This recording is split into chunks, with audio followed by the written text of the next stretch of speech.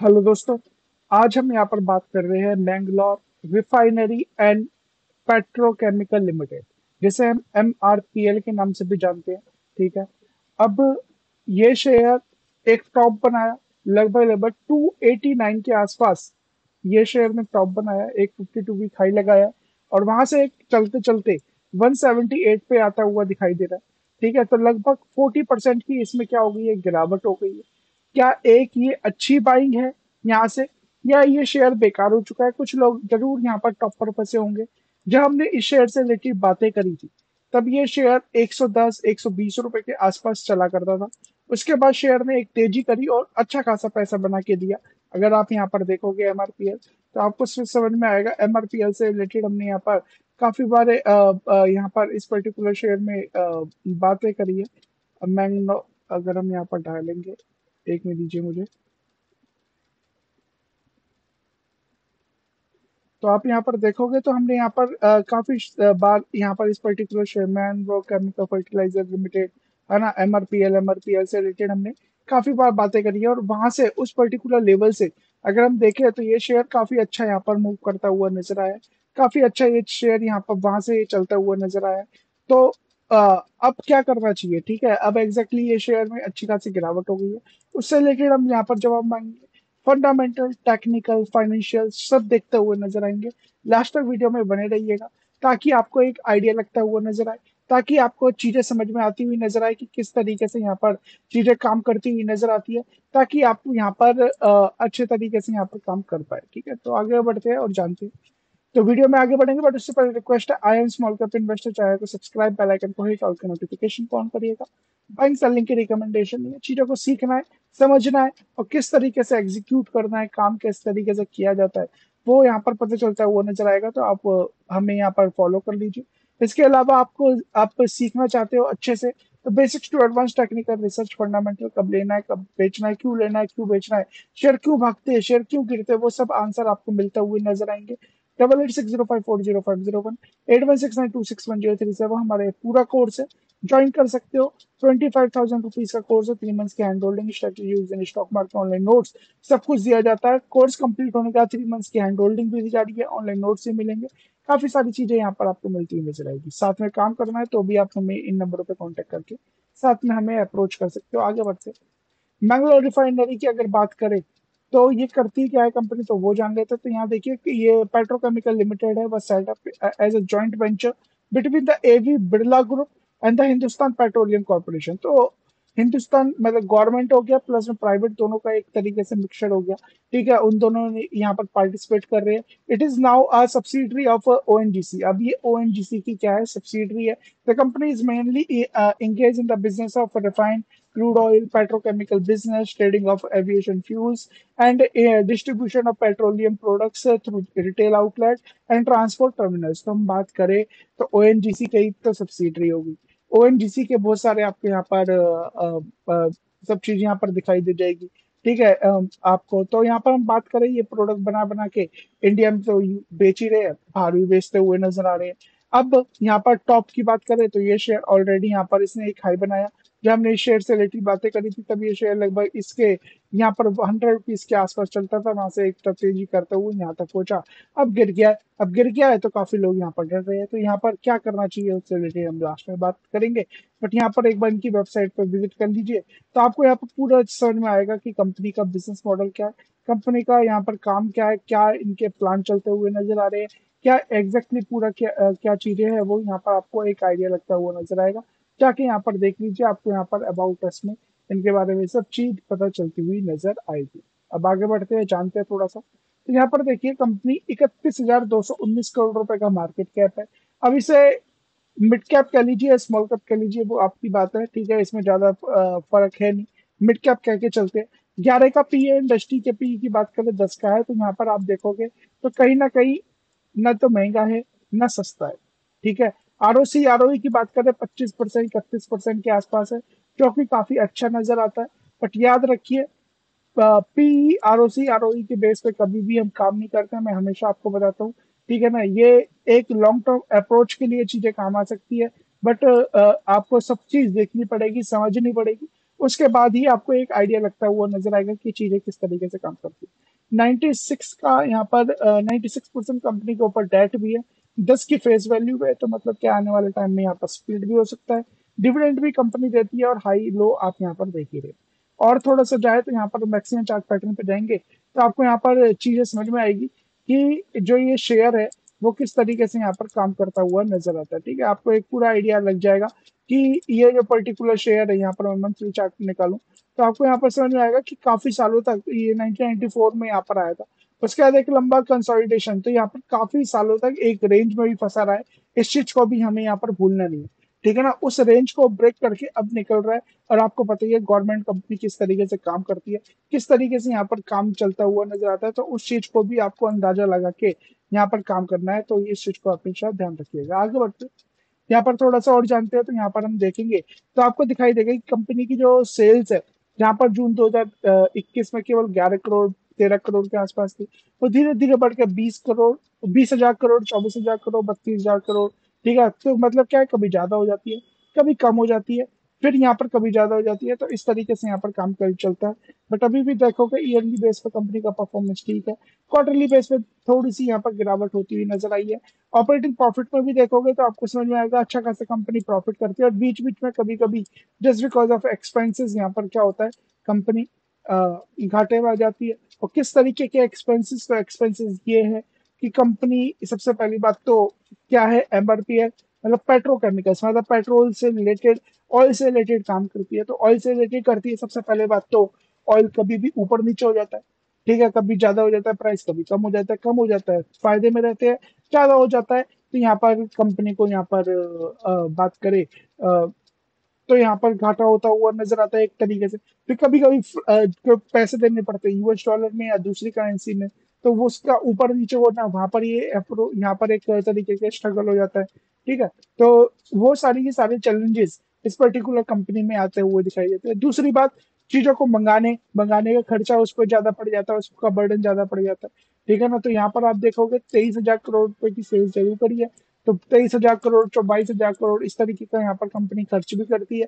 ठीक है, इस बार देखोगे छह सौ छह करोड़ रुपए बचा पाई है। इससे पहले देखोगे तो चौतीस सौ करोड़, दो हज़ार करोड़ के आसपास की यहाँ पर ऑपरेटिंग प्रॉफिट हुआ करता था, है ना? दो हज़ार करोड़ और एक हज़ार करोड़ के आसपास का प्रॉफिट हुआ करता था, अभी तिहत्तर करोड़ का ही रह गया। तो यहाँ पर देखिए अच्छा खासा खर्चा हुआ है। तो यहाँ पर इनके जाओगे ना इस रिज़ल्ट पे यहाँ पर क्लिक करोगे तो आपको पता चलेगा कुछ एक्स्ट्रा खर्च भी होते हुए नज़र आए कुछ एक्स्ट्रा एग्ज़ाम ड्यूटी भी रखती हुई नज़र आई है, जिस वजह से कंपनी का यहाँ पर ऑपरेटिंग प्रॉफिट और ये सब प्रॉफिट कम होता हुआ नज़र आया। तो वो सारी चीज़ों पर हमें यहाँ पर ध्यान रखना होगा तो कंपनी के रिज़ल्ट कभी भी पॉजिटिव कभी भी नेगेटिव कभी भी ज़्यादा, कभी भी कम आ सकते हैं। इस चीज़ को लेकर हमें यहाँ पर हमेशा तैयार रहना है, ठीक है ना? तो इस चीज़ को इस पर्टिकुलर कंपनी में देखना है। ईयरली बेस पे हम बात करें ईयरली बेस पे यहाँ पर देखते हैं तो कंपनी अच्छा खासा पहले तो परफॉर्म किया करती थी फिर उसके बाद डल होता हुआ नज़र आया काम। और फिर उसका धीरे धीरे बढ़ के यहाँ पर 2023-24 में कहाँ पहुँचते हुए नज़र आ रहे हैं। अच्छा खासा लगभग लगभग एक लाख करोड़, नब्बे हज़ार करोड़ के आसपास का यहाँ पर काम हो रहा है। अच्छा खासा कंपनी यहाँ पर प्रॉफिट करती हुई नज़र आई है। रिज़र्व की बात करें, ग्यारह हज़ार करोड़ के आसपास के रिज़र्व बन गए हैं इनके। आगे चल के आपको बोनस भी मिल सकता है। बट साथ साथ बोरिंग भी है कंपनी के पास, बारह हज़ार करोड़, साढ़े बारह हज़ार करोड़ की। बट अच्छी बात यह है कि कंपनी ने जहाँ पर चौबीस हज़ार करोड़ की बोरिंग थी वो आधी हो गई है, ठीक है? बारह हज़ार करोड़ की बोरिंग रह गई है, ये पॉजिटिव बात है। सात सौ चौवालीस रुपए यहाँ पर लगभग लगभग कंपनी ने क्या कर दिया? वर्क इन प्रोग्रेस में लगा रखे है। अड़तालीस करोड़ रुपए का यहाँ पर इन्वेस्टमेंट और कैश की बात करें, उनतालीस करोड़ का यहाँ पर कैश भी है। चीज़ों को थोड़ा सा और देखे तो आपको समझ में आएगा डिविडेंड कंपनी हर साल यहाँ पर डिविडेंड दे रही है, ठीक है? अच्छा खासा मतलब स्प्लिट भी अब मिल सकता है डिविडेंड तो मिलता ही है। और बोनस भी यहाँ पर मिलता हुआ नज़र आ सकता है आने वाले टाइम में तो इस चीज़ को भी ध्यान रखिएगा। थोड़ा सा आगे बढ़े पॉजिटिव कैश फ्लोज लगभग सात हज़ार करोड़ के यहाँ पर पॉजिटिव कैश फ्लोज नज़र आते हैं। अब प्रोमोटर्स की होल्डिंग की बात करें तो 88 परसेंट है, जो कि कौन है यहाँ पर? ओ एन जी सी ओ एन जी सी है seventy one percent Hindustan petroleum के पास, सत्रह परसेंट के आसपास है। एफ़ आई की होल्डिंग की बात करें एफ़ आई यहाँ पर two point two six percent अभी भी लेके बैठे हुए हैं। उन्होंने बेचा नहीं है माल, याद रखिएगा। डीआईएस की बात करें, डीआईएस भी यहाँ पर लेके बैठे हुए डेढ़ परसेंट। गवर्नमेंट यहाँ पर, आपको बताइए ओएनजीसी ये सब गवर्नमेंट ही है। पब्लिक की बात करें, सेवन परसेंट के आसपास है। बट जो इन्वेस्टर साढ़े तीन लाख के आसपास हुआ करते थे, वो चार लाख सड़सठ हज़ार हो गए। क्यों? क्योंकि जब शेयर भागता है ना तो सब घुसता हुआ नज़र आते हैं। सब लोग यहाँ पर लेने की कोशिश करते हुए नज़र आते हैं। यहाँ पर आप देख सकते हैं कि कौन बेच रहा है, कौन नहीं बेच रहा। है यहाँ पर डेजिग्नेटेड पर्सन है ना, जो कंपनी से रिलेटेड होते हैं। वो यहाँ पर बेचते हुए नज़र आ रहे हैं। यहाँ पर आप बाइंग सेलिंग ये चलती रहती है, वो आप आपको दिख जाएगा। ठीक है तो अब यहाँ पर बात करते हैं चार्ट में कि चार्ट क्या कह रहा है। बट उससे पहले आपसे रिक्वेस्ट करूँगा कि आप हमारे channel I am small cap investor को सब्सक्राइब बेल आइकन को हिट और नोटिफिकेशन को ऑन करिए। है ना बाइंग सेलिंग की रिकमेंडेशन बिल्कुल नहीं है। चीज़ों को सीखने फोकस करना है। वीडियोस जाके देखनी है। जितनी वीडियोस देखोगे, बहुत आपके लिए फ़ायदेमंद होता हुआ नज़र आएगा। ऐसा ज्ञान आपको और कहीं नहीं मिलेगा। ठीक है, आप इसे रिपीट कर लेंगे, आपको चीज़ें समझ में आने लग जाएगी। यहाँ पर इन नंबरों को नोट करेंगे और अच्छे से सीखनी है। बारीकियाँ सीखनी है, क्योंकि बारीकियों से रिलेटेड मैं बातें नहीं करता। ज़्यादा तो इन नंबरों पे कांटेक्ट करोगे तो यहाँ पर आपको बारीकियाँ भी सीखने को आपको मिल जाएगी। इन नंबरों पे कांटेक्ट करके आप हमसे बात भी कर सकते हैं। आगे बढ़ते यहाँ पर आप देखोगे तो शेयर ने अच्छी खासी तेज़ी दिखाई है। ठीक है, और इस शेयर को तो हम अड़सठ रुपए के आसपास से यहाँ पर ट्रैक कर रहे हैं। अगर वहाँ से भी देखोगे तो लगभग अच्छे खासे रिटर्न इस पर्टिकुलर शेयर में, ठीक है ना, यहाँ पर बना के दिए। यहाँ पर आप देखोगे तो यहाँ पर आप देखिए, तीन सौ पैंतीस परसेंट तक के रिटर्न यहाँ पर बने। ठीक है, और इधर इसी लेवल पे जब हुआ था, उसी लेवल पे हमने बताया भी था। चलो, वो छोड़ते हैं। अब बात करते हैं चीज़ों की, ठीक है? यहाँ पर क्या दिखाई देता है उसकी बात करेंगे। देखिए, लगातार गिरावट हुई ठीक है यहाँ पर शेयर में। और मुझे लगता है कि शायद यहाँ से रिटर्न हो जाना चाहिए। ठीक है रेट क्या होना चाहिए? ये शेयर शायद रिटर्न हो जाना चाहिए। क्यों कह रहा हूँ? वो कभी क्लास में क्लास में ज्वाइन करोगे ना, तब मैं आपको बस समझाऊँगा। बट अभी मैं जस्ट आपको बता रहा हूँ बैंक सेलिंग की रिकमेंडेशन है अटेम्प मत करिएगा, कुछ भी मैं कह रहा हूँ जो। ठीक है, मुझे लगता है कि यहाँ पर ये शेयर चीज़ें यहाँ से रिटर्न होगी। थोड़ा सा यहाँ पर हो सकता है कंसल्टेशन दोबारा यहाँ पर भागेगी। और वो किस वजह पे कह रहा हूँ कि मुझे लगता है कि आने वाला क्वार्टर शायद कंपनी का दोबारा अच्छा आता हुआ दिखाई दे सकता है। ठीक है कंपनी का अगर क्वार्टर अच्छा आता है तो यहाँ पर चीज़ें रिटर्न होगी और रिटर्न के बाद चीज़ें भागती नज़र आएगी। क्या गिरावट और होती हुई नज़र आ सकती है? बिल्कुल गिरावट होती हुई नज़र आ सकती है और वो गिरावट कहाँ है? एक यहाँ पर एक सौ अड़सठ रुपए तक ये शेयर आ सकता है। ठीक है, एक सौ अड़सठ तक की गिरावट मुझे दिखाई देती है बट मुझे ये भी नज़र आ रहा है कि यहाँ पर जब ये गिरावट हुई है ना तो यहाँ पर जैसे कि मैंने बताया था कि कोई भी बड़ा प्लेयर यहाँ पर बेच के निकला नहीं है। थोड़ा बहुत बेच दिया होगा तो कह नहीं सकता। ठीक है बट यहाँ पर खरीदारी ही हुई है। सितंबर 2023 से बिकवाली नहीं हुई है तो वो भी हमें यहाँ पर सोचना पड़ेगा, समझना पड़ेगा, उसके बाद यहाँ पर देखना पड़ेगा। ठीक है, अब क्या है? अब यहाँ पर हम देखेंगे तो यहाँ से ये चीज़ें हो सकता है कि यहाँ पर स्टेज फोर में आने का थोड़ा सा कंसल्टेशन है इस पर्टिकुलर जोन में। ठीक है, तीन महीने, छह महीने शायद ये शेयर ना चले, और शायद थोड़ा बहुत गिर जाए और गिर के ये शेयर लगभग एक सौ अड़सठ तक आ जाए। ठीक है, और यहाँ तक कंसोलिडेशन होने का जब चीज़ें निकलेगी तो एक बार एक एक करके दोबारा टारगेट जाएगा। दो ठीक है, दो और दो के आसपास। तो हम बात करें तो देखिए मार्केट में अब अच्छे अच्छे शेयर 40 परसेंट तक 20 परसेंट, तीस परसेंट करेक्ट हो चुके हैं। 60 परसेंट की अपसाइड अभी भी नज़र आती है। कोई अगर यहाँ पर अटेम्प्ट करने की कोशिश भी करता है तो एक स्टॉप लॉस को ज़रूर फॉलो करना है। क्यों? क्योंकि जब चीज़ें गिरती है ना तो एक गिरता हुआ चाकू है। ठीक है? अगर पकड़ दिया तो ठीक, सही। अगर अच्छे से पकड़ लिया, ठीक। अगर नहीं पकड़, पकड़ा गया तो आपके हाथ को काट देगा, इस चीज़ को याद रखिएगा। तो अच्छा अपसाइड दिखाई देता है। कंपनी के नंबर आने दीजिए, देख लीजिए। उसके बाद तसल्ली से चाहे दस दस रुपए, बीस रुपए, तीस रुपए महँगाई मिल जाए। कोई परेशानी नहीं है। इकसठ परसेंट नहीं मिलेंगे, तीस परसेंट भी, चालीस परसेंट नहीं मिलेंगे तो भी यहाँ पर आपके अच्छे खासे पैसे बन सकते हैं। बट मेरे कहने पर किसी और के कहने पर लेना नहीं है। यहाँ पर थोड़ी कंसोलिडेशन हो सकता है।